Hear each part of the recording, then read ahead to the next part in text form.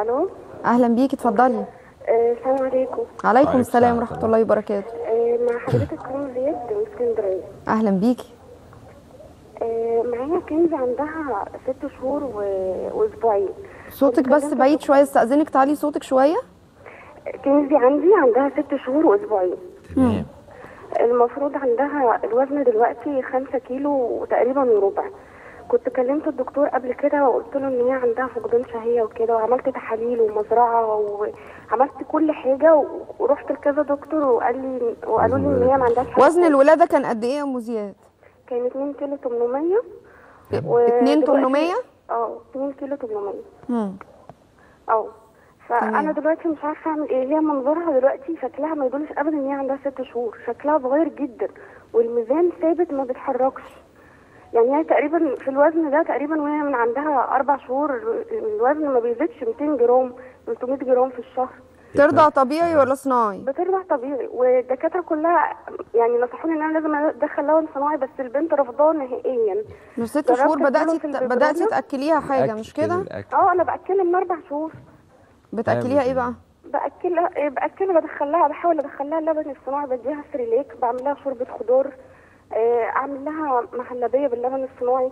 بحاول أعمل الحاجات دي بس هي بتاكل كميات قليلة جدا وبرده رافضة اللبن الصناعي نهائي ولا بتاخده ببرونة. وفي دكتور قال لي لا ادولها بالعافية بالسرنجة.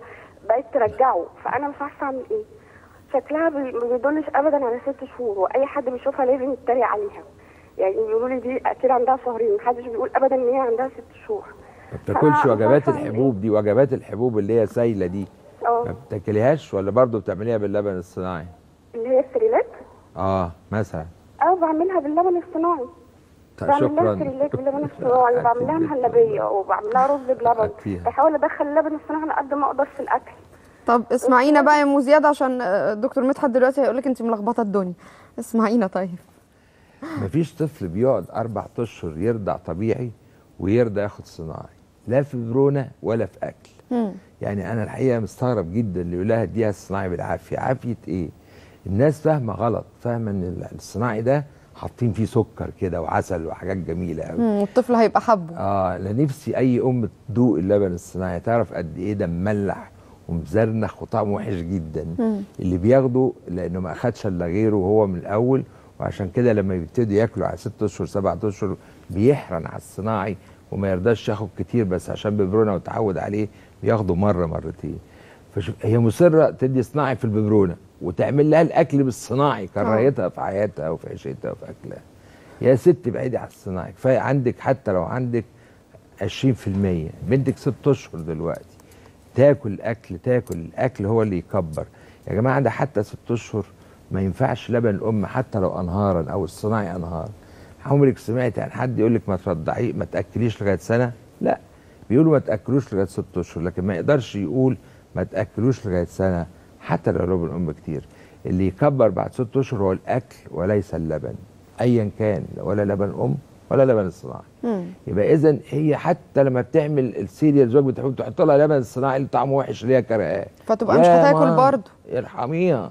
يا ست تعملها لها على عصير برتقال عصير أي حاجة تانية. ارمي اللبن الصناعي ده من فضلك. من بعد ست أشهر ممكن ندي منتجات الألبان بنتي تاكلها لكن ما تشربهاش. طب ما تاكل زبادي الزبادي light حاجات الزبادي مهلبيه كاستر. اللبن على النار بيتحول لبروتينات سهلة الهضم. طعمه مقبول غير اللبن الصناعي خالص طبعا.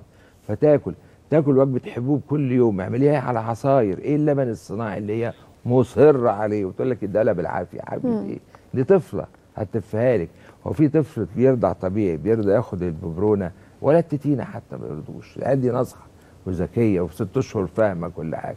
فأكلي أكل عادي. ده أنت عندك الحبوب دي من ابعدي عن اللبن الصناعي بس هتاخدها هي طعمها حلو جدا وأنواع كتيرة جدا. وعندك فاكهة في الخلاط. اضربي أي فاكهة في الخلاط ما عدا الفراولة والمانجا. طعمها حلو. حط عليها الحبوب حط عليها زبادي. الزبادي حط عليه بسكوتين أي بسكوت عادي سادة وحط عليها مزايا في الخلاط واضربيها واديها لها. أكل طعمه حلو وكويس هتاكل. لكن هي مشكلتها هي وبنتها الصناعي. تمام. خناقة في الصناعي. ده